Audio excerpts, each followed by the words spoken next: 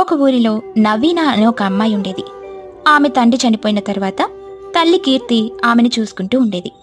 కానీ అతిగా కష్టపడడం వల్ల కీర్తికి కూడా జబ్బు చేసి మంచాన పడిపోతుంది. ఉన్నట్టుండి మంచాన పడిపోయిన కీర్తి దగ్గరికి నవీన వచ్చి ఇలా అంటుంది. అమ్మా రోజంతా ఇంట్లో హడావడిగా తిరుగుతూ ఉండే నువ్వు ఇలా కదలకుండా మంచంలో పడుకొని ఉండడం నేను చూడలేకపోతున్నానమ్మా. నువ్వలా బాధపడకమ్మా. ఎవరికైనా శరీరానికి వృద్ధాపం వచ్చి ఇలా శక్తిహీనులవ్వాల్సిందే కాని ఆ దేవుడు నన్ను కోసంత తొందరగా ఇలా చేశాడు. ఒక మాట చెప్తాను గుర్తుపెట్టుకో. నా ఆరోగ్యం మెరుగుపడొచ్చు పడకపోవచ్చు. కానీ నేను బ్రతికే ఉండొచ్చు చనిపోవచ్చు. కానీ నీ ఆత్మస్థైర్యాన్ని మాత్రం కోల్పోకూడదు. నీ కష్టాన్ని నువ్వు నమ్ముకుంటూ ముందుకెళ్ళు అని అంటుంది. నువ్వు చెప్పినట్టే వింటాను కానీ నువ్వు లేకుండా నేను ఎలా బ్రతికేది? చెప్పమ్మా అని ఏడుస్తుంది.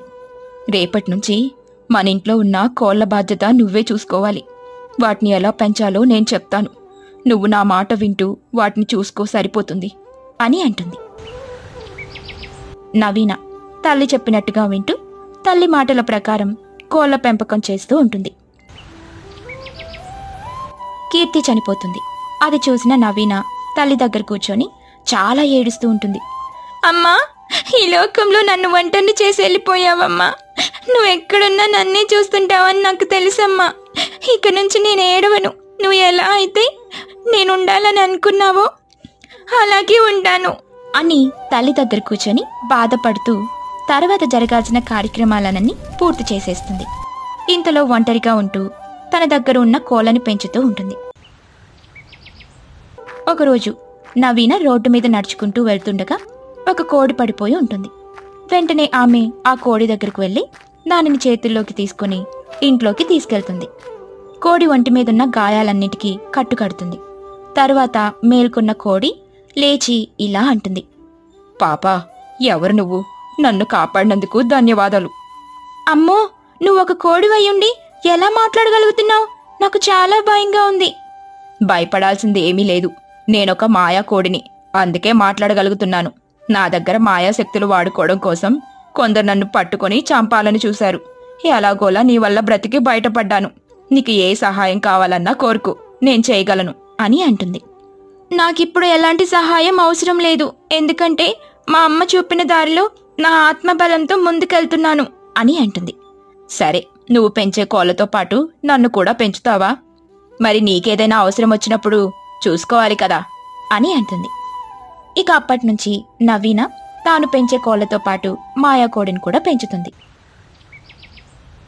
తన దగ్గర మాయాకోడుందని అది ఏది చెప్పినా చేయగలుగుతుందన్న విషయం కూడా మర్చిపోతుంది. ఒకసారి కోళ్ళకి ఏదో రోగం వచ్చి చనిపోతూ ఉంటాయి. అయ్యో ఏంటి? ఉన్నట్టుండి నా పరిస్థితి ఇలా తయారైంది? నా జీవనాధారం అనుకున్న కోళ్ళన్నీ ఒక్కొక్కటిగా చనిపోతున్నాయి. ఇప్పుడు నేను ఎలా బ్రతికేది? అని అనుకుంటూ ఉండగా రాము అనే ఒక వ్యక్తి అక్కడి నుంచి వెళ్తుండడం చూస్తుంది నవీన. వెంటనే అతని దగ్గరికి వెళ్ళి రామన్న రామన్న కొద్ది రోజుల క్రితం నీ పొలంలో వ్యవసాయం చేసుకుంటా. ఇంతకు ముందు నువ్వు అడిగావు కదా నా పొలంలో వ్యవసాయం చేసుకుంటావా అని. అప్పుడు కాదనుకున్నానులే కాని ఇప్పుడు నా కోళ్ళన్నీ ఒక్కొక్కటిగా చనిపోతున్నాయన్నా. ఏం చేయాలో తెలియడం లేదు. కనీసం వ్యవసాయమైనా చేసుకుంటానన్నా అని అడుగుతుంది. తర్వాత ఇంటికి వెళ్ళేసరికి కోళ్ళన్నీ చనిపోయి ఉంటాయి. వాటిని చూసి నవీన ఎంతో బాధపడుతుంది. ఇంతలో పక్క నుంచి మాయా కూడా వస్తుంది. నవీన నా దగ్గర మాయాశక్తులున్నాయన్న అనుమానంతోనే చాలా మంది నన్ను పట్టుకొని చంపాలని చూశారు. నేను నా అంతగా నీకేం కావాలో కోరుకో అని అన్నా కూడా నువ్వు మాత్రం నీ కష్టంతో బ్రతకాలనుకుంటున్నావు. నేనొక మాయాకోడినన్న విషయం కూడా మర్చిపోయావు. ఇప్పటికైనా నీకేం కావాలో కోరుకో అని అడుగుతుంది. నేను రామన్న పొలం దగ్గరికి వెళ్ళి కౌలికి వ్యవసాయం చేస్తానని చెప్పాను. ఇక నుంచి వ్యవసాయం చేస్తాను అని అంటుంది. సరే నేను చెప్పినట్టుగా చెయ్యి. చనిపోయిన ఈ కోళ్ళన్నిటినీ తీసుకొని వెళ్ళి రామన్న పొలంలో పాతిపెట్టు అని అంటుంది. మాయా కోడి ఎందుకు చెప్పిందో కూడా అర్థం కాక నవీన కోడి చెప్పినట్టుగానే చనిపోయిన కోళ్ళన్నిటినీ తీసుకుని పొలంలో గుంతలు తీసి పాతి పెడుతుంది.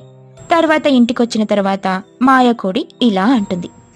మిత్రమా రేపటి నుంచి వెళ్ళి వ్యవసాయం చేసుకో అని అంటుంది. నవీన తోటకు వెళ్ళేసరికి బంగారు కోళ్ళు పెరిగుంటాయి. వెంటనే వెళ్ళి నవీన ఒక కోడిని చేతిలోకి తీసుకోగానే దాని స్థానంలో ఇంకొక కోడి వస్తుంది. ఇలా ఎన్ని కోళ్ళను తీసినా కూడా దాని స్థానంలో ఇంకొక బంగారు కోడి వస్తూనే ఉంటుంది. అప్పుడు నవీన తనలో తాను ఇలా అనుకుంటుంది. ఇదంతా మాయాకోడి మహిమనే అనుకుంటా. నా కష్టాలు చూడలేకనే తను ఇలా నాకు సహాయం చేసుంటుంది. వెంటనే ఇంటికి వెళ్ళి తనకు ధన్యవాదాలు చెప్పుకోవాలి అని అనుకొని ఇంటికి వెళ్తుంది. కానీ ఇంటి చుట్టూ ఎక్కడ వెతికినా కూడా మాయాకోడి కనిపించలేదు. ఇన్ని రోజులు నేను చేసిన సహాయానికి రుణం తీర్చుకోవడానికి మాత్రమే నా దగ్గరున్నట్టుంది. ఇప్పుడు ఆ పని పూర్తవడంతో వెళ్ళిపోయి ఉంటుంది అని అనుకుంటుంది. నవీన బంగారు కోళ్ళను నమ్ముకుంటూ జీవనం గడుపుతూ ఉంటుంది.